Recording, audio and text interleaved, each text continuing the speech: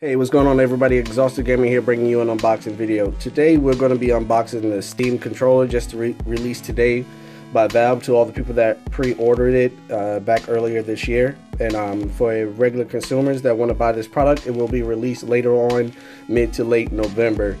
Here's your packaging right here. You see the front and you got your bottom right here where it comes with a USB cable, a dongle and a dongle extender, and two uh, AA batteries. Um, you see on the back right here, play all your Steam games from your couch, which they're shooting for, and pretty much that's what that dongle extender is for.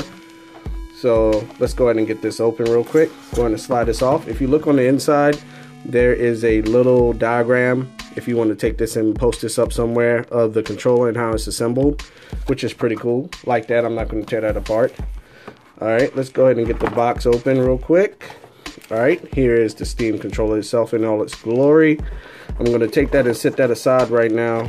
Let's go to what's in the package. All right, we have the Steam product guide, controller product guide, and a quick start guide for setting up the controller, as you can see right here.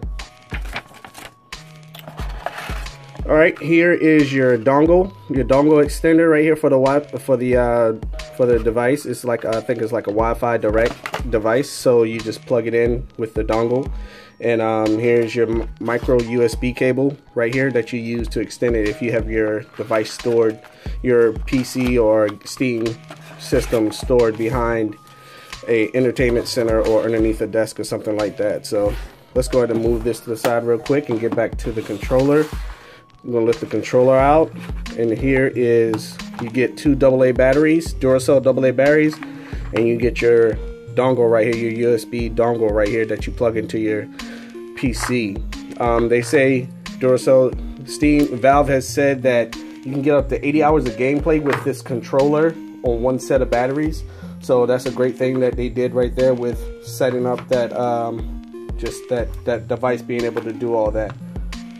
So now here we have the Steam controller.